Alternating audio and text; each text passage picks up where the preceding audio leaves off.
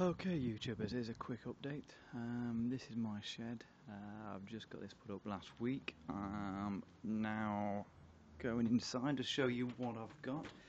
Uh, this is my 350 watt grid tie inverter that I did a quick update yesterday for. Um, I've now got it plugged in direct into a solar panel with a lead going up there and into the house. My original two batteries connected together um, all I've done now is separated the cable coming from the charge controller so it goes into the batteries and into the controller. And you can see that's syncing up pretty slowly. Obviously it's only a 12 watt um, panel but it is actually putting out a full 12 watts to the house. Um, so really all that's left everything is proven. It's all working quite nicely. So um, obviously they're just connected at the moment just temporarily so I can check it. And if we have a quick look over at the house.